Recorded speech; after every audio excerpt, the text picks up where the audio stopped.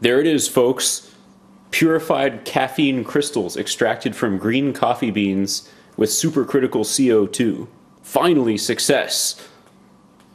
Originally, I tried doing this uh, with a paintball, uh, high pressure paintball uh, supply canister, and I kind of packed some dry ice with coffee beans in there, and that, that really didn't work at all because I didn't have enough control over the conditions inside the canister.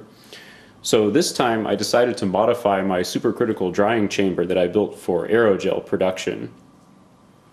So I got a, a few more pipe fittings, uh, a cap. These are all Schedule 80 uh, steel pipe fittings.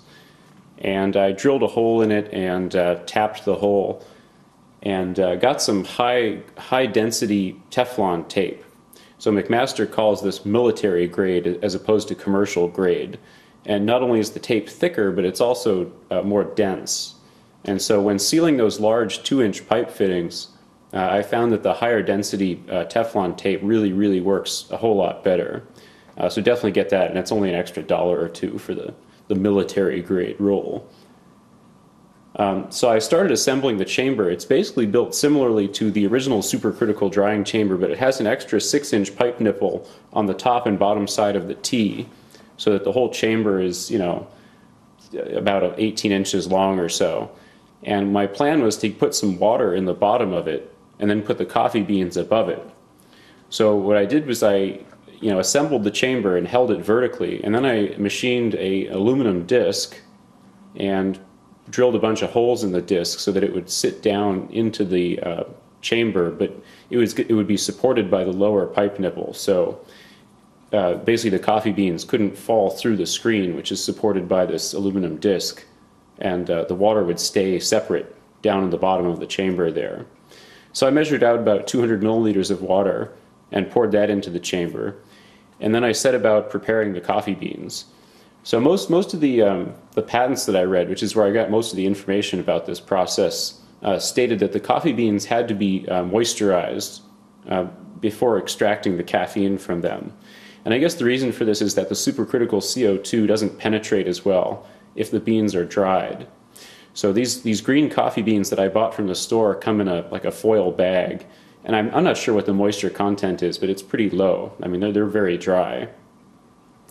So the patents uh, suggested, rec- you know, moisturizing them with steam or hot water, and and the process kind of varied from patent to patent. But I basically steamed these for about 10 minutes um, in a kitchen like steamer, like they were held above the water, so that just the steam contacted them, and then I actually dumped them into the water and soaked up about about a cup and a half of hot water for the whole pound of green coffee beans.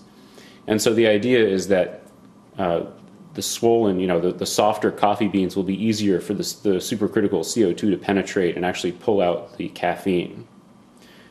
So I, I built the rest of the chamber and loaded up those, those uh, soaked green coffee beans. They really soaked up all the water too. There was no residual water left in the pan. Uh, so there was nothing to, to worry about, you know, losing any caffeine in that regard. Um, put the t- so I, I, couldn't fit the whole pound in, unfortunately, either. I only got about three quarters of a pound. Uh, frustratingly, I measured the chamber with the dry coffee beans, with the dry green coffee beans, and it held the whole pound just fine. And then when I, you know, soaked them in water, they swole up quite a bit, and I couldn't fit the whole pound in the chamber anymore with the with the water compartment at the bottom. So anyway, so I got about three quarters of a pound in there and got the cap on. And my plan was to have two fittings at the top, you know, an inlet and an outlet like I did for the supercritical drying chamber so that I could connect the inlet to my siphon tube CO2 tank and then open the outlet valve a little bit and the liquid would sort of fall into the chamber and a little bit of CO2 gas would come out. But I could overall transfer liquid from the cylinder into the chamber by letting this CO2 gas out. Uh, but apparently, this doesn't work quite so well when the chamber is packed full of green coffee beans.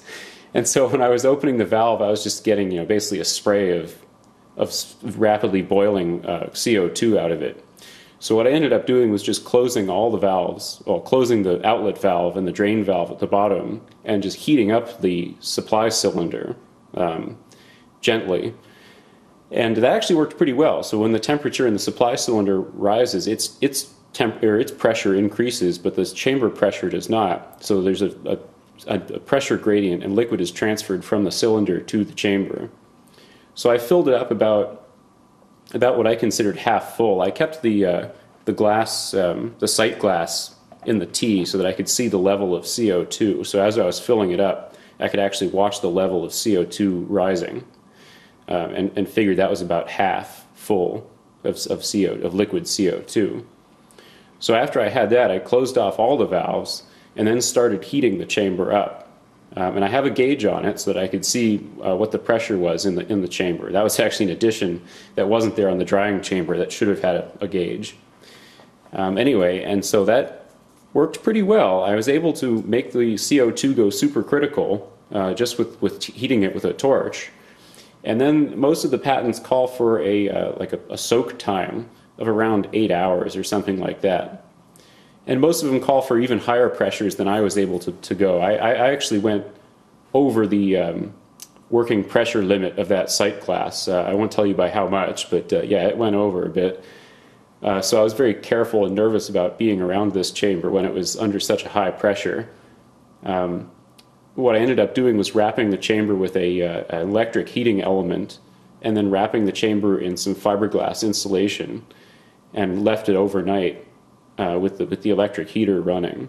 And that worked pretty well. I could even vary the temperature by kind of opening and closing the, uh, the fiberglass mat on it to let more or less uh, ambient air in. And, and like I say, that worked pretty well. So it maintained a temperature of about 50 or 60 degrees C uh, at a pressure of, you know, two or 3,000 or, or even a little over 3,000 or something.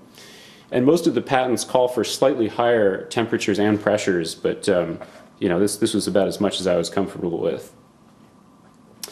So the next day, I uh, opened the drain valve and started extracting, you know, after cooling the chamber down, and started extracting the water, which to my surprise was completely black. I mean, it was like India ink black. I had no idea what was going on here, but I recovered most of the water, except for this you know, after draining the thing of water, the CO2 starts coming out, of course, and the CO2 freezes into dry ice in the exit valve, and you know, suddenly a chunk flies out, and there's there's like a sudden depressurization. It doesn't come out in a smooth stream; it comes out in fits and starts, and uh, eventually it blew a, a, big blast of CO2 and splattered the, the, the, India ink water everywhere, which explains my uh, stained hands and fiberglass here.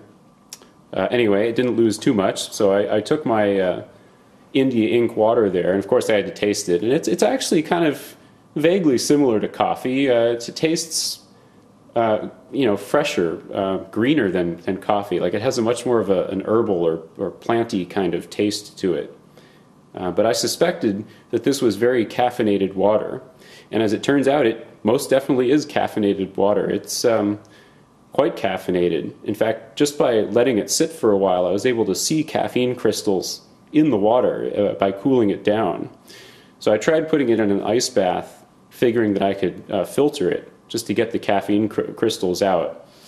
Uh, but there are so many impurities in this water that I ended up resorting to a hydrocarbon extraction. And so I'm going to make a, another video about extracting caffeine from this liquid because it did end up requiring uh, another solvent, which I was trying to avoid. I, I, think in the future I may try some other techniques to, to use just water.